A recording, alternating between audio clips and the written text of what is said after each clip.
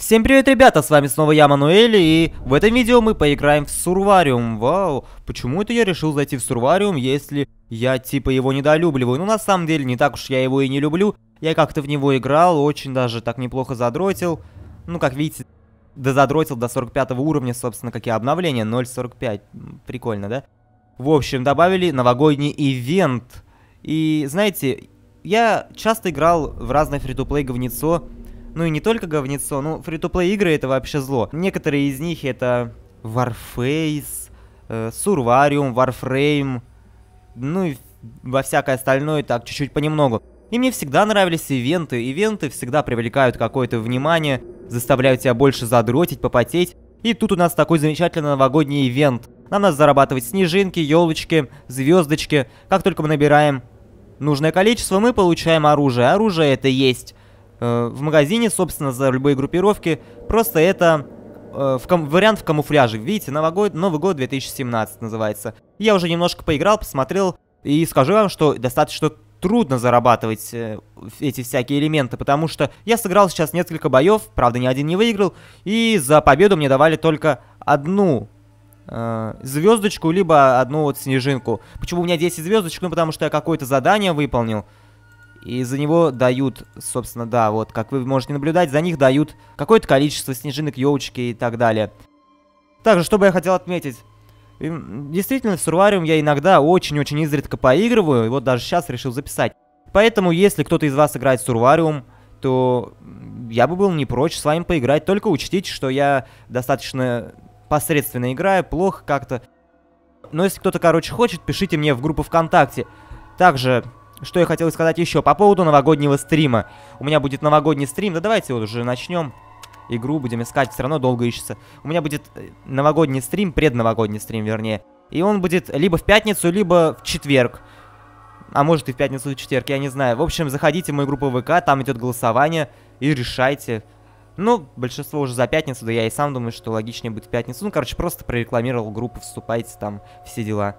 Здорово, наш... нашелся у нас бой. Исследование Таракановский форт. Ну, здоровская карта, в принципе, для моего-то оружия ближнего боя. Что я хотел сказать еще? Кстати, в этом обновлении еще добавили ежедневные награды за вход. Э Почему-то их тут раньше не было, странно, во всех играх есть. Ну, то есть там и на 15 день дают что-то интересное. Громкая музычка, делаем немножко потише. Кстати, я какое-то даже продолжительное время играл в Warface. Это было давно, но я задротил 24 на 7. И, в принципе, если кому-то будет интересно, я раска расскажу, как я играл, что играл каково это было. Ну а сейчас мы поиграем в Сурвариум, посмотрим, как я буду играть.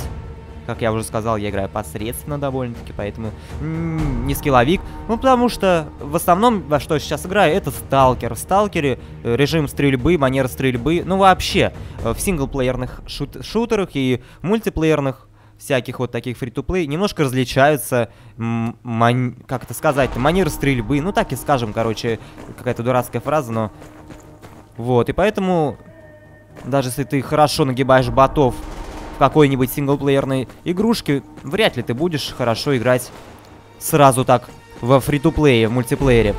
Почему мой э, союзник от отображается красной точкой? Я уже хотел в него стрелять. Армия Возрождения хочет уничтожить лес.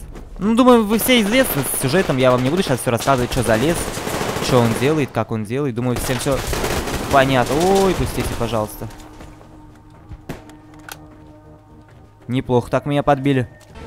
Не так давно разработчики говорили, что у них достаточно мало сотрудников, из-за этого реализация многих моментов в игре э, запаздывает, так скажем. Ну, как вы помните, обещали различные пси-штормы и прочую лабуду. Нет, э, если меня смотрит разработчик Сурвариум, то я очень люблю Сурвариум на самом деле. Это очень классная игра, просто не достает тут некоторых моментов, которые, я уверен, вы вскоре ре реализуете. Так, я видел врага, и сейчас я как хищник... А, его уже убили.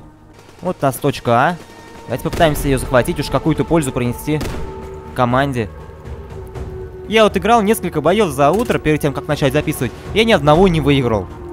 Представляете?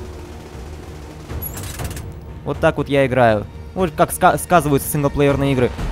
Может быть, даже как-нибудь мы с вами поигра можем поиграть в Сурвариум на стриме. Тоже об этом можете мне написать в ВК. И может быть как-то вместе с подписчиками прям. Воу-воу-воу-воу-воу-воу. Подбили меня. Давай кинем дымовую, чтобы... Опа, опа. В последнем видео, которое я записывал, это было достаточно, ну, давно относительно, конечно, это можно так сказать, но давно. Я высказывал, что заменит ли Сурвариум всеми нами любимую игру. Сами знаете какую. Не буду сейчас вдаваться в подробности, опять же. Потому что знаю, что разработчикам Сурвариума это не нравится. Ну, думаю, все понимают и так. Оп, тут мина. Обойдем ее стороной. Да, не будем лезть, лезть на рожон, в принципе. И там мы не сможем пройти, потому что аномалия. Тут э, можно как бы сделать упор либо на защиту от пуль, либо на защиту от аномалий. Вот, допустим, я играю за Армию Возрождения, и у, у Армии Возрождения зачастую защита идет именно э, от пулевых попаданий. То есть они... У них слабая защита. Воу-воу. От... Господи, я вообще, короче, меня еще и свой убил.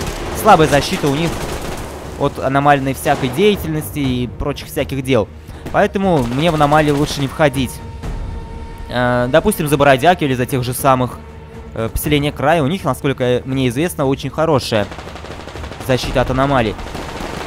На самом деле я это плохо знаю, потому что я же говорил, я в основном играл за... Именно за армию Возрождения. Но в любой момент вы можете сменить группировку, за которую играете. Кстати, нет, сейчас, кстати, я как раз-таки присоединен к поселению... Ой, нет, к бродягам. Бродягам, потому что того требует ежедневное задание. Да ну, эту мину до сих пор не убили, я даже как-то ее и не заметил. Вот, кстати, вы можете наблюдать артефакт.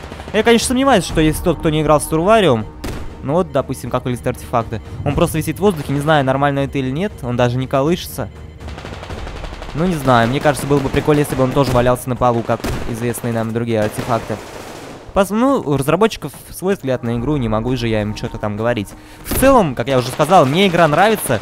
Да, я как бы говорил, что немножко это не то, чего бы мы хотели видеть.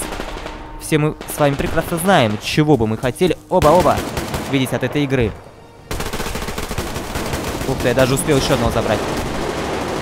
Но игра сделана неплохо. Но опять же, посмотрим, все впереди у разработчиков. Игра стоит своих, ну, хотел сказать денег, но она же бесплатная. Но опять же, бесплатность относительно... Нет, в принципе, можно играть бесплатно. Ну, я имею в виду, не вкладывая ни, ни копейки. Вот я... Нет, я как-то вкладывал, когда активно играл, но на випку и то. Я не покупал премиум оружие. Премиум оружие тут очень дорогое. Даже не знаю, с чем это связано. Например, как я уже говорил в своем видео про Сурвариум, набор какой-то, ну, допустим, набор стрелка там какой-нибудь, я уже не помню точно название, я могу сейчас ошибаться, стоит там как, как 2 GTA 5, ну, представьте. Ну, там порядка 4000, ну, есть, конечно, тут и дешевый за 3000, за 2, но есть и за 4, ну, что это такое? За 4000 я могу купить э, какие-то две топовые просто игры. И почему так дорого стоит один набор, я не знаю. В общем, еще, еще раз говорю, как бы игра не хейтилась, все-таки она прикольная и какой-то антураж в ней есть постапокалипсиса. Ну, будем ждать новых режимов. Вот мне интересно, напишите, пожалуйста, в комментарии, ребят, кто досмотрел до этого момента, как вы считаете, что было бы умнее со стороны разработчиков делать в первую очередь все-таки PvP или PvE? Так, почти захватил. Вот, хороший дробовик. Многие жалуются на форуме, да и где только не жалуются, что дробовики уж слишком имбовые, что они реально на большом расстоянии убивают. Но, ребят, это раз большое расстояние, с которого я убил того чувака, дробовик вполне ре в реальной жизни может завалить. И тут действительно есть одна такая проблема, то что снайперские винтовки, допустим, с затворным э, механизмом, ну, то есть болтовки в простонародье, реально некоторые наносят мало, мало дамага. Я говорю про низкоуровневые.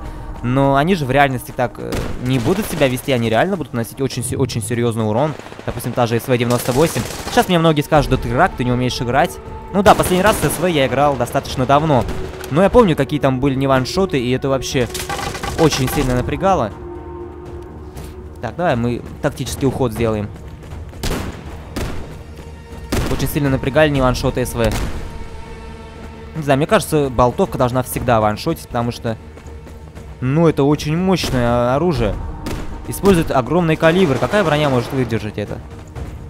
Ну что ж, ребята, бой подошел к концу, и как ни странно, мы выиграли. И, видите, мне дали, дали всего лишь одну снежинку, то есть...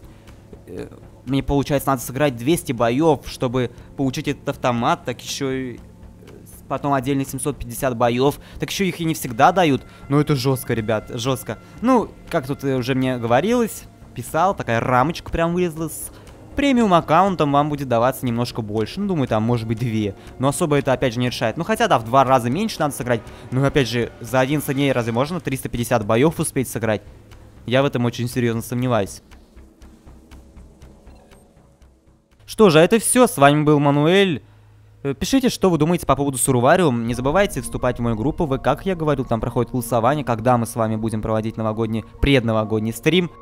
И я надеюсь, что к этому предновогоднему стриму у нас уже наберется на канале 10 тысяч подписчиков, и я сделаю небольшой анонсик кое-чего. Вот мы выполнили, давай посмотрим, что нам выпадет. Это была такая, выиграйте матчик за группировку бродяги, ежедневные задачи, вот. Здорово, да? Что нам может выпасть? Подожди, а как ее открыть?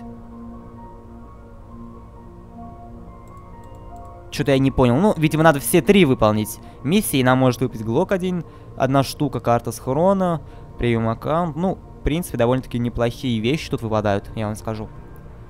Сыграйте матч в режиме защитное устройство. Ну, видите, простые задания, но может выпасть глок навсегда. Это довольно-таки неплохо. Что ж, ребят, на этом все. С вами был Мануэль. Не забывайте подписываться на канал, вступать в группу ВК. Я уже десятый раз про нее говорю. Надеюсь, вы услышите и перейдете. Всего вам доброго и до скорых встреч. Пока.